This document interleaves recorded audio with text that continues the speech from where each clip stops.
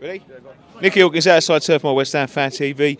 Caleb, we was lucky there, I think. I think we was very lucky. I felt like the first half we played really bad, and then after that I thought we're not we're not going to win this. And then then the penalty happened, and then I was unhappy with that. And then somehow we just come back. I was Oh. really happy with Mubama.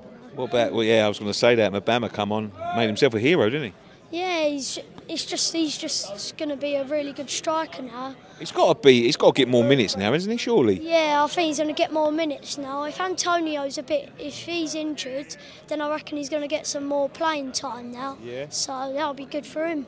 Listen, two wins on the bounce. Palace coming up. Get third one. We're back on track. To be honest, yeah, you're right. We'll be back on track. We'll do really well. Well done, mate. I'll see you next week.